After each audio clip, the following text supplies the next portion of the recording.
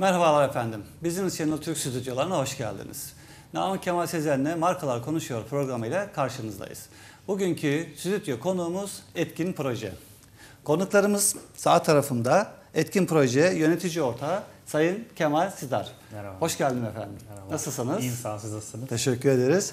Diğer konuğum Güray Gözaçan, Makine Otomotiv Grup Direktörü. Siz de hoş geldiniz Teşekkürler, efendim. Siz de iyisiniz inşallah. İyiyim teşekkürler sizler. Bizler de çok iyiyiz. Ee, geldiğiniz için tekrar teşekkür ediyorum. Etkin projeyi biraz tanımak istiyoruz. Önce sizden başlayalım. Tabii. Kemal Sidar kimdir? Bize biraz Kemal Sidar'ı anlatabilir misiniz? Memnuniyetle 1980 Kayseri doğumluyum. Ee, girişimciliğimin temelleri biraz Kayseri'den geliyor. İleride ondan bahsedeceğim. Ee, endüstri yüksek mühendisiyim. Doktora çalışmamı şu anda Gebze Teknik Üniversitesi'ne devam ediyorum. Çalışma hayatıma Microsoft'ta başladım. Sonra sırasıyla Doğan Teknoloji Holding ve Doğan Holding'de çalıştım. 2007 senesinde de e, İbrahim Bey ile beraber, İbrahim Yedikoğlu ile beraber Etkin Projeyi ARGE ve proje yönetim üzerine uzmanlaşmak üzerine kurduk. O günden itibaren de e, aşama aşama büyüterek işimizi devam ettirdik. Şu anda Etkin Proje'de bölgesinin bir numaralı danışmanlık şirketi haline geldi. Çok güzel. Peki Güray Gözaçan kimdir? Güray Bey'i tanıyalım biraz. Merhaba. Ee, Ben de 1987 İstanbul doğumluyum. Ee, Uludağ Üniversitesi Makine Mühendisliğini e, bitirdim. Kariyer hayatına öncelikle bir e, mühendislik firmasında mühendislik yaparak başladım ama bana çok uygun bir iş değildi aslında. O yüzden biraz daha proje yönetimi tarafına kaydım. Yaklaşık 6 senedir de proje yönetimi konusunda özellikle devlet destekleri konusunda e, çalışmalarıma devam ediyorum. Yani şirketlere devlet destekleri dendiği zaman akla o zaman siz geleceksiniz diye düşünüyorum. Evet, e, aslında etkin proje geliyor akla. Etkin projeyle beraber de bizler. Peki. Biz e, Etkin Proje'yi e, izleyenlerimize tanıtmak istiyoruz. Etkin Proje ne iş yapar? E, ve müşteriler Etkin Proje'ye ne için, hangi işler için müracaat etmeli?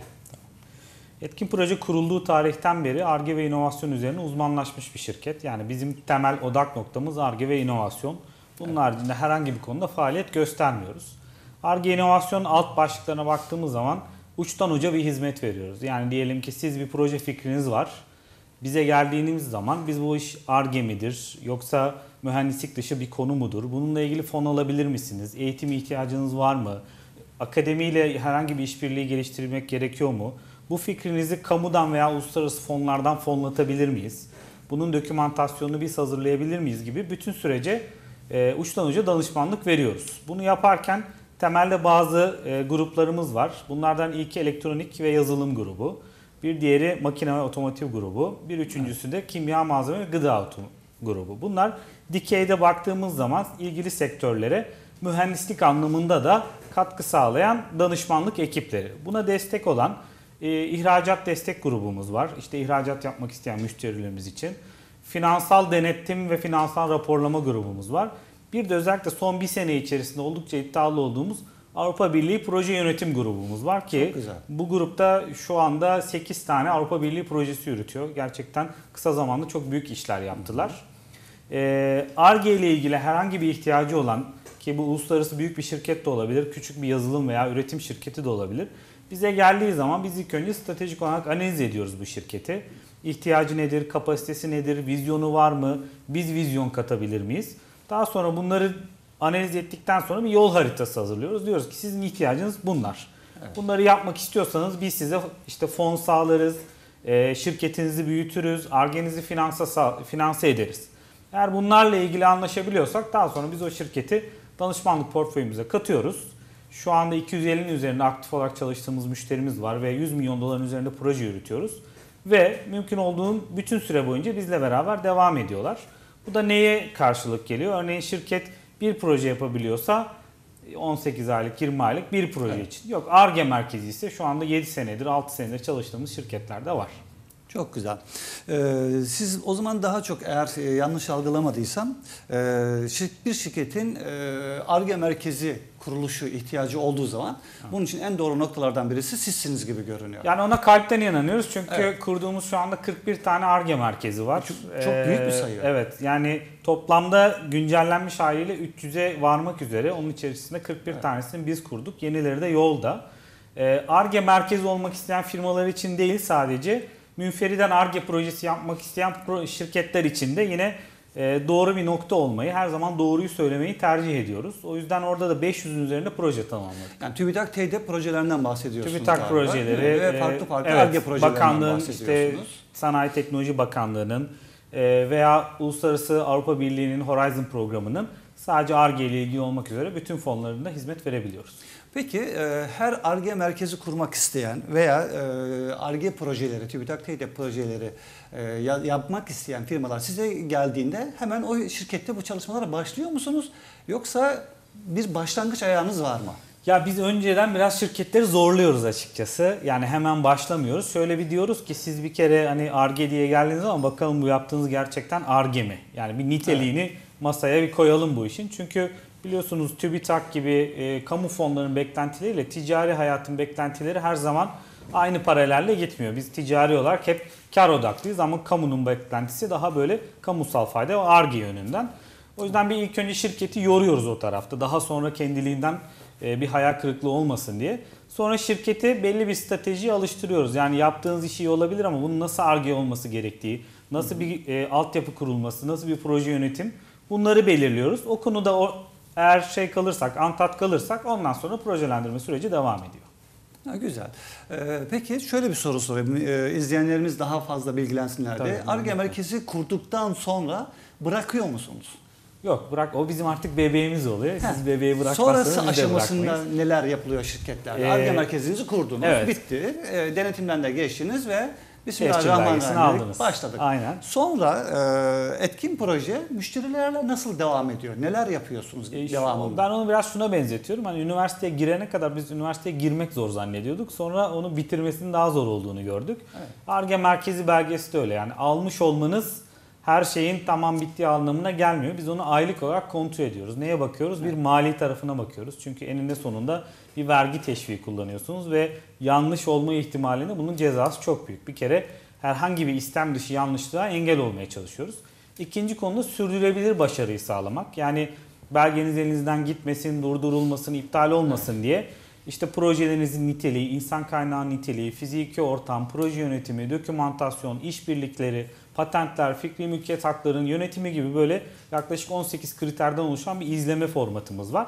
Onunla beraber her ay e, başarılı bir şekilde devam etmesini sağlıyoruz ki şöyle de bir örnek var.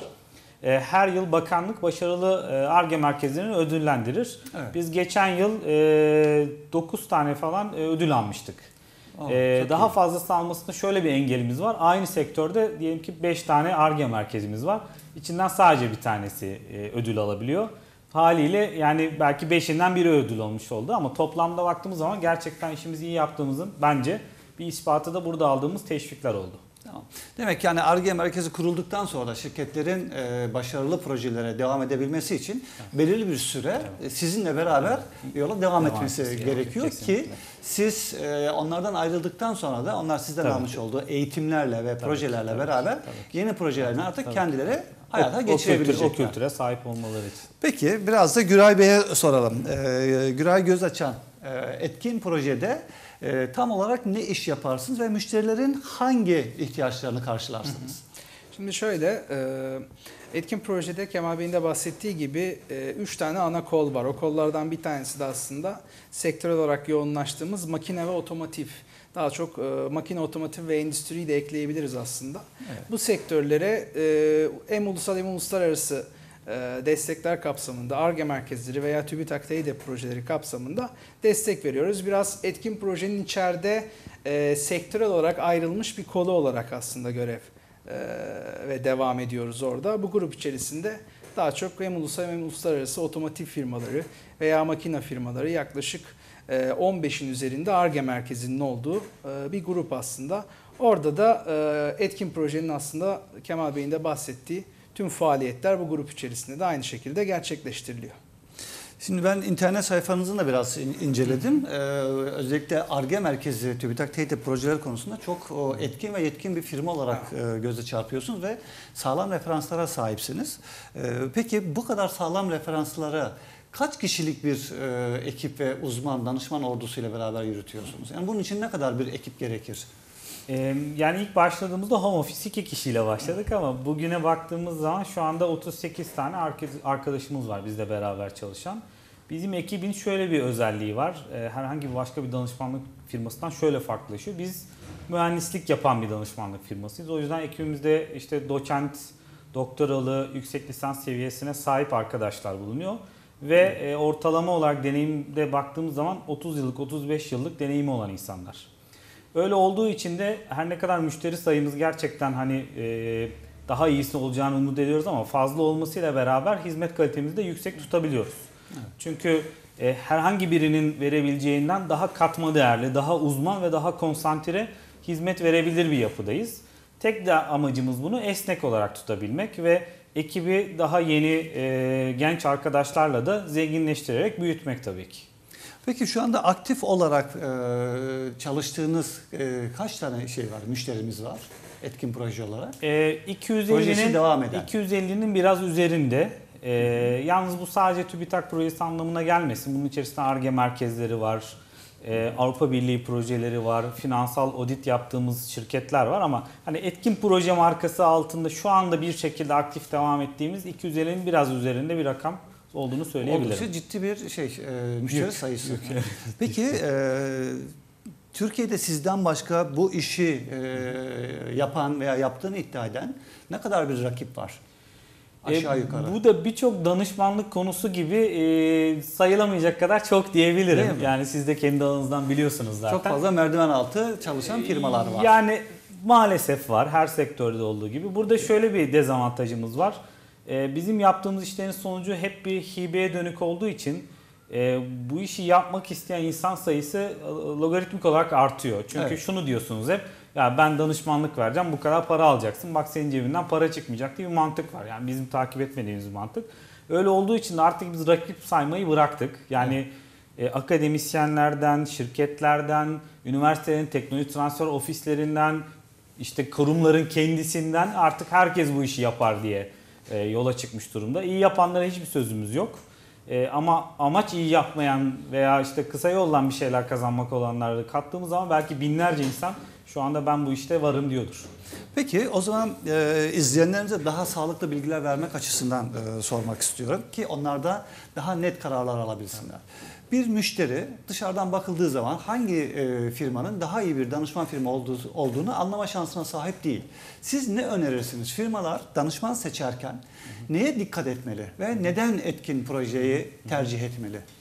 Ya bizi bugüne kadar getiren ve bundan sonra da götürmesini umut ettiğimiz, yatırım yaptığımız konulardan biri az önce söylediğim gibi mühendislik altyapısı. Yani bu iş hiçbir zaman bir sekreterya, bir dokümantasyon işi olarak algılanmamalı müşteri tarafında. Yani ben size söylerim, siz bana söylersiniz onu yazarız. Ama bu yeterli olduğu anlamına gelmiyor. Ben sizin kapasitenizi görüp, projenizi görüp bununla ilgili literatür araştırması yapar, size örnekler koyar, işte patentlerle ilgili fikirler verirsem, sizi başka teknolojilerle tanıştırırsam, zorlarsam o zaman değerli hale gelirsiniz. Bu birinci konu yani mühendislik yapabilen bir danışmanlık şirketi olması lazım.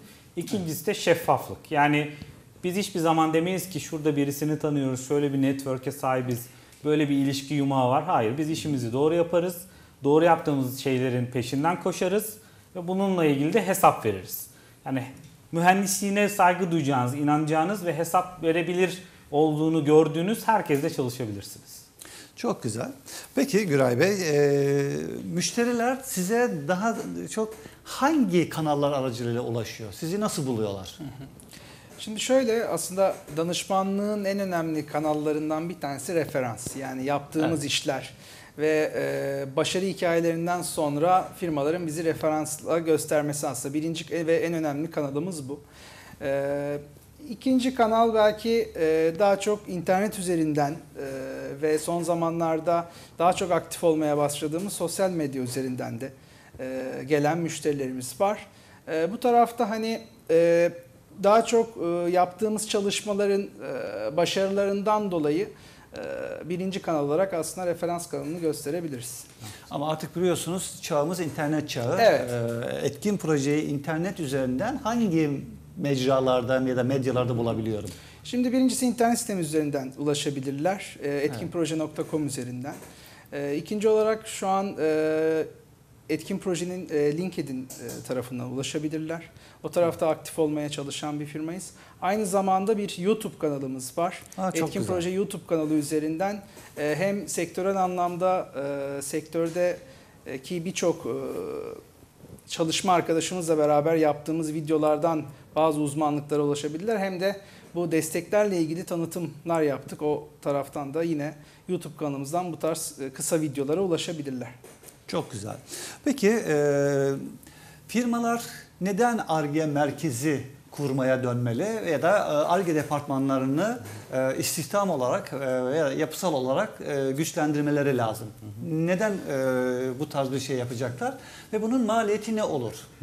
Yani çünkü bildiğimiz kadarıyla e, ARGE merkezinin bir e, 50 kişilik bir e, çalışana ihtiyacı vardı ama bu son dönemlerde bazı gelişmeler ve iyileştirmeler oldu. Bununla ilgili bize biraz bilgi verebilir misiniz? Bence ARGE yani her şey bir yana teşvikler, kolaylaştırıcı altyapılar vesaire hayatta kalmanız için, rekabet etmeniz için, uluslararası olmak için, markanızın bundan 10 yıl sonra da var olabileceğini bilmeniz için yapmanız gerekiyor. Yani bu bir üretim şirketisinizdir, yazılım şirketinizdir, mühendislik tabanlı Evet. ARGE yaparsınız. Bir hizmet şirketisinizdir, inovasyon tabanlı geliştirmeler yaparsınız.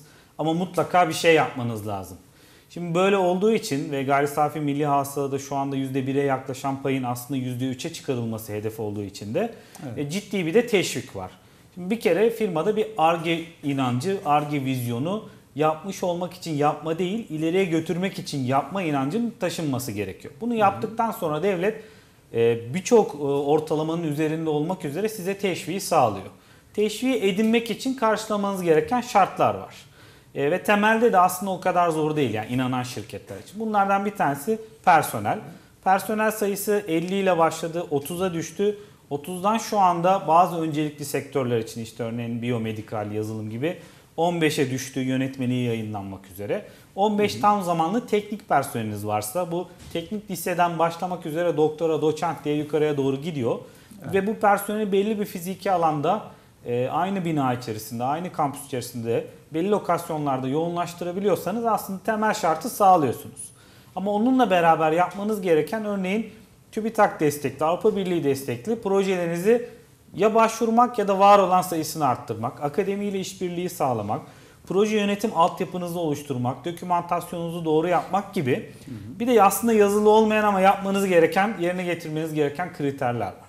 Eğer sıfır noktasından başlıyorsanız bu sizin için bir maliyet gibi görünebilir ama belgeyi aldıktan sonra tahminen 2 maksimum 3 ay içerisinde başa baş noktasına gelmiş oluyorsunuz. Yani öyle güzel bir teşvik ki hiçbir yatırım yok ki bu kadar kolay size geri dönsün. Devlet bunu sağlar durumda. Evet. Sadece diyor ki iyi niyetli ol. Arge'ye inan ve bunu sadece teşvik olmak için değil, şirketini ve haliyle ülkemizi de Evet. ileriye götürmek için yap. Geri kalan her şey çok kolay gerçekten. Evet. Aslında e, şirketlerin belki ilk başta bir yatırım maliyeti gibi bir maliyeti olacak fakat e, daha sonra bunlar ARGE gideri olarak devlet tarafından büyük bir şeyi e, Tabii, geri ödeniyor. Bunun ne kadarını geri alabiliyorlar? Ee, şöyle bir ARGE merkezi olduğunuz zaman e, örneğin personelde %80, 85, 90, 95 şimdi yeni uygulamalarla değişecek. Geriler vergisi indiriminiz var. SGK işveren payında %50 indiriminiz var. Kurumlar vergisi matrahtan ARGE giderlerinizi ikinci kere düşebiliyorsunuz. TÜBİTAK projesi yaparak işte %40'tan %80'e 90'a öncelikli alanlara göre hibe alabiliyorsunuz. Yani çok bu rakamları bir kenara koyarsak bir ARGE merkezi olduğunuz zaman çok net söyleyeceğim %30 ila 35 arasında tasarruf etmiş olacaksınız. Artı üzerine devlet size bir de proje bazlı hibe verecek. Ve bu da Avrupa Birliği'nin ortalamasının falan üzerindedir. Yani e, Almanya'da örneğin %25'ler civarında. Türkiye'de tek bir proje yaparak %75 hibe alabiliyorsunuz. Süper. Ya her şey hazır şu anda ARGE için. Bayağı iyi bir şey demek ki o zaman e, özellikle yurt dışına açılmak isteyen markalar e, Türkiye'de özellikle üretim de yapıyorlarsa veya Evet. bir yazılım geliştiriyorlarsa Evet, kesinlikle. mutlaka bir ARGE merkezi projesine soyulmaları gerekiyor Aynen, diye düşünüyorum. Stratejilerin içerisinde bugün olmasa da orta vadede o yönde koşmaları Evet, bir gerekiyor. 5 yıllık plan dahilinde veya bir 10 yıllık plan dahilinde bir Mutlaka, ARGE merkezine mutlaka. kavuşmaları veya e, TÜBİTAK TEDEP gibi ARGE projeleri gibi projelere soyunmaları Mutlaka. lazım diye düşünüyorum. Şart. Şart. Değil mi? Başarılı olmaları için Yani şart. Türkiye'nin markalaşması için artık Evet. ARGE gücümüzü Evet, e, ülke olarak da e, bireyler olarak da arttırmaya el birliğiyle Mutlaka. e, Yani çalışmamız lazım. Çünkü en büyük kıymet o. Herkes için de eşit. Yani akıl. Evet. Siz onu ürüne dönüştürdüğünüz zaman e, evde bir şey eksiğini hiç önemli değil. Direkt onu kapatabiliyorsunuz. O yüzden Çok bütün doğru. yatırım ARGE olması lazım. Peki ben çok teşekkür ediyorum verdiğiniz Teşekkür bilgilerden ederiz. dolayı. Onur duyduk. Ee. Etkin projeyi tanımış olduk. Ee. Arge projemiz varsa, TÜBİTAK TED'de projelerimiz varsa ve diğer projelerde bahsetmiş olduğunuz projelerde e, sanırım en doğru nokta e, Etkin proje gibi görünüyor. Ee, Teşekkür Sağ olun. ederiz. Siz teşekkür de ederiz. e, buraya kadar için. geldiniz, davetimizi kırmadınız. Onur. Teşekkür- Çok teşekkür ediyorum. Onur duyduk. Teşekkürler. Evet, e, bir Markalar Konuşuyor programının daha sonuna geldik. Bugün size Etkin projeyi tanıttık. Eğer ARGE merkezi kurmak istiyorsanız, TÜBİTAK TED'de projelerinde yer almak istiyorsanız ve diğer projelerle ilgili doğru kanal aramak istiyorsanız Etkin Proje bunların en önemlilerinden birisi. Biz de özellikle Etkin Projeyi size tavsiye ediyoruz efendim. Bugünlük yayınımızın sonuna geldik. Bizi izlediğiniz için hepinize teşekkür ediyoruz. Bir sonraki programda yeni bir markayla, yeni konuklarla karşınızda olacağız efendim. Şimdilik hoşçakalın. İyi günler.